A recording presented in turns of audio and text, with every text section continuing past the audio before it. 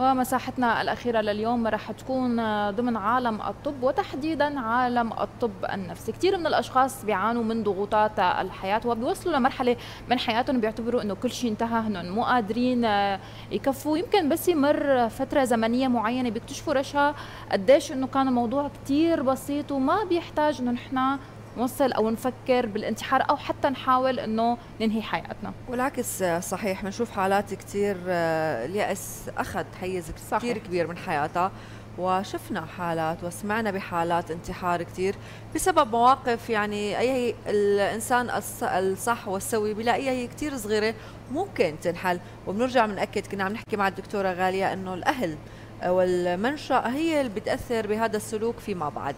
صحيح. نحن بشهر كمان للمعلومة بشهر التوعيه بأنه عدم الانتحار أو يعني نشجع الناس ما تنتحر. ولكن رح نحكي أكثر عن هي الشعور يلي ممكن نحن نوصل له. كيف ممكن نقدر نساعد حالنا أو حتى المحيطين بالشخص يلي عم ينوي الانتحار؟ كيف ممكن يقدروا يساعدوه؟ تفاصيل كثير رح نحكيها لليوم مع الدكتور أنس دالي اختصاص بالطب النفسي. يسعد صباحك يا دكتور. يسعد صباحكم. أهلا وسهلا فيكم. يسعد صباحك دكتور. هلا الشخص اللي بده ينتحر ممكن نحن ندرك أو نحس إنه هذا شخص بده يعمل شيء مو مو مزبوط يعني؟ طبعا مو بالضرورة بس ببعض الأحيان طبعا ممكن. غالبا الانتحار خلينا نقول هو ما له تشخيص قائم بحد ذاته. هو يأتي خلينا نقول عرض أو ظاهرة في سياق أمر آخر في سياق اضطراب آخر. فدائما نحن بدنا ندور على الدلالات المرضية النفسية الأخرى اللي ممكن تأهب للانتحار. مثلا أشع يعني عم نحكي هلا على الحالة النفسية؟ تمام. 95% من حالات الانتحار هي مرتبطة باضطرابات نفسية مشخصة. وال5% الباقية يعني هي بين إنه بداية اضطراب نفسي أو نتيجة حالة انفعالية معينة أو تسرع أو إلى آخره. ف95% من حالات الانتحار هي عند أشخاص مصابين باضطرابات نفسية ومشخصين. فالنسبة جدا جدا جدا عالية. فنحن مثل ما ذكرنا الانتحار هو ما شغله مجردة بحد ذاتها ما اضطراب بحد ذاته إنه فقط انتحار أو لا انتحار. شخص بين يوم وليلة صابه مرض اسمه أو بموقف أو ما انه خلص يئست خلصت الحياة تماما. طلعت ستات حالي. تماما. بده يكون في أرضية تماما. في يعني. أرضية أكيد بالضرورة في أرضية. طبعا مثل ما ذكرت ال 5% اللي بتيجي على حالات خلفية حالات انفعالية هي بتيجي تندرج تحت سياق ال 5% يلي هي أيضا ضمن حالات انفعالية نفسية بس هو ما وصل لمرحلة الاضطراب. يعني ما هو مشخص باضطراب آخر. هلأ أشياء الاضطرابات اللي ممكن يجي فيها الانتحار وهذا شيء شائع يعني ما بنحكي معلومة جديدة موضوع الاكتئاب. بالدرجة الأولى الاضطراب الاكتئابي 70 ل 80% من حالات الانتحار. آه، هي سببها اكتئاب. تماما سببها اكتئاب. هلأ في دلالات معينة مرضية ممكن أنا أستشفها؟ ممكن الشخص لاحظ عنده تراجع آه، الاختلاط بالمحيط آه، ضعف الاهتمام بالنظافة الشخصية عزله عزلة كاملة بالمطلق.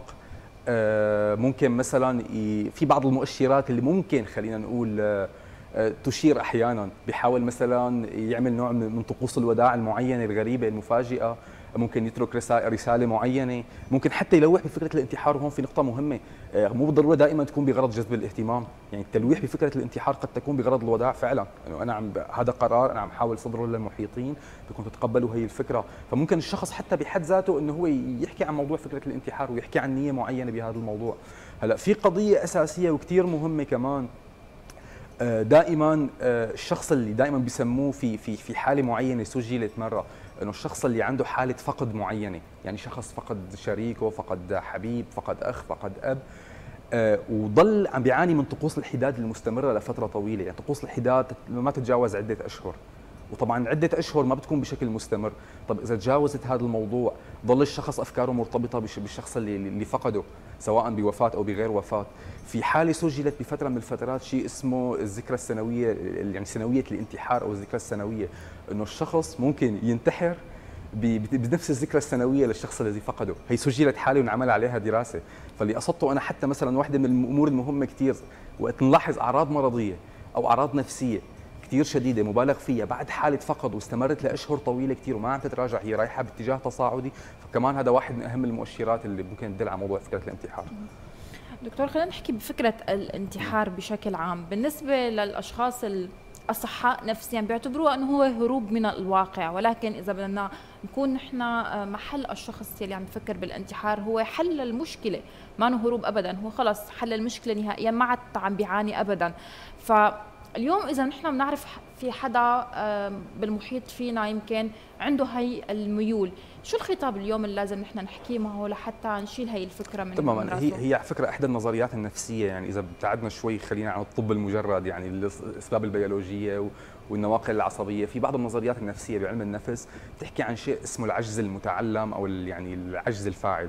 شو المقصود فيه؟ المقصود إنه الطفل مثلا الشخص خلال فترة نموه أو خلال فترة حياته كان نتيجة البيئة اللي تم تربيته فيها كانت البيئة صارمة إلى حد ما كانت البيئة بتمنعه من أنه مثلا يمارس نشاطات معينة ياخذ حريته ويكون استقلاليته. فبينشأ عندنا شخص خلينا نقول إلى حد كبير غير قادر على التعامل مع المشاكل. يلجأ دائما إلى استراتيجية الهروب. دائما العجز هو هو اللي موقفه سواء كانت بالمشاكل الصغيرة أو بالمشاكل الكبيرة. فهي واحدة من النظريات النفسية اسمها العجز المتعلم. إنه دائما الشخص ما عنده خيار آخر لأنه لا يملك أدوات ما تعلم أدوات بيهرب. ما تعلم تقنيات. فيبدو هذا إنه أقرب الحلول خصوصا إنه الخيار الآخر هو عجز. يعني هو ما عنده استراتيجيات وفشل فيها هو شخص لا يملك الاستراتيجيات. أو قد تصير يعني الشخص مو بالضرورة يكون بيئة تربيته هيك ولكن لربما أحيانا مشكله كبيرة أو حالة كبيرة أو أو أو ظرف معين ضاغط جدا جدا جدا. فشلت فشلت الآليات النفسية بتطويقه ومقاومته والتعامل معه فبيلجأ لحالة العجز. هلا هون طبعا هي هي هذا الأمر بحد ذاته ممكن يخضع ل ل ل لإجراءات نفسية ممكن يخضع لتقييم نفسي في استراتيجيات في كثير من أنماط العلاج النفسي الغير دوائية أنماط اللي بتصير عن طريق معالج نفسي مختص لها علاقة بحل تقنيات حل المشكلات. تقنيات بنسميها علاج معرفي سلوكي إنه فصل الفكرة عن المشاعر إنه أنا غالبا المشاعر اللي عم بحس فيها سوداوية أو سلبية اللي عم تخليني عم تقودني لهي الحالة من الانتحار مرتبطة بفكرة معينة عم تنشأ. فبتحاول نلجأ لاستراتيجيات هي علمية هي علاجات مسجلة فصل المشاعر عن الأفكار آه، تقنيات أخرى في كذا في كذا تقنية طبعا وفي نقطة كثير مهمة ما فينا نفصل مثل ما ذكرت الانتحار بأي سي يعني في سياق أي مرض وجد أو في سياق أي اضطراب لأنه أي اضطراب نفسي بالنسبة لي له علاجاته خلينا نقول المستقلة. فأنا بدي أحدد فكرة الانتحار كمان بدي أحدد بسياق أي اضطراب لحتى أنا أقدر قارب العلاج الصحيح. لأنه ما في شيء اسمه علاج مجرد للانتحار مثل ما طيب آه، دكتور من خلال اختصاصك والحالات اللي عم تشوفها ذكرت حضرتك إنه الانتحار هو حالة اكتئاب يوصل فيها المريض لقرار الانتحار. من خلال عملك اليوم قد إيه نسبة الاكتئاب عنا؟ والله هي بالأساس هي إذا بدنا نجي نحن ل للواقع.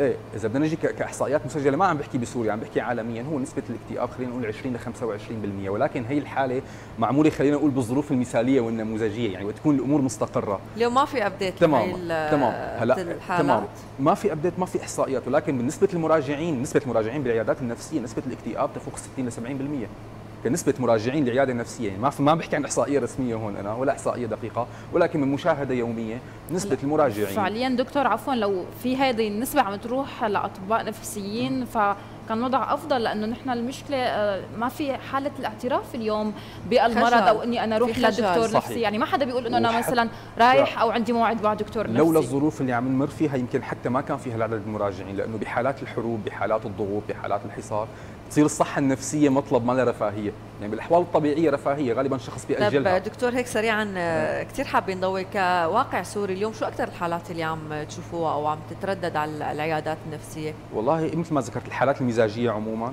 يعني حالات الاكتئاب بشكل شديد على اختلاف درجاتها. في حالات انتحار مسجلة للأسف عم تتسجل. في محاولات للانتحار كمان كثير عم تكون شديدة. عم يكون في سبب مشترك لهدول القصص؟ طبعا في سبب لأنه نحن كمان اليوم ما فينا نفصل شغلة كثير أساسية. إنه لو نحن بنحكي عن كل اضطراب أكيد له اسبابه واحد اثنين ثلاثة. ولكن نحن في خلينا نحكي اليوم إنه في واقع مليء بالضغوط. ضغط. في العامل المحرض العامل خلينا نقول المحيط. البيئة المحيطة مليئة بالضغوط مليئة بالأسباب المحرضة. اليوم نحن عندنا كمان ما بننسى ما بننسى أمور غير الضغوط الاقتصادية والمعيشية. في عندنا حالات من التفكك الأسري الشديدة حالات من الهجران حالات من الفقدان آه، حالات من تفكك العوائل بشكل يعني كثير كثير كبير بسبب ظروف الحرب. فهي مجموعة أسباب تراكمية فعلا ممكن عم عم تضاعف حالات النكس حتى اجمالا بالاضطرابات النفسية حالات النكس بازدياد للأسف.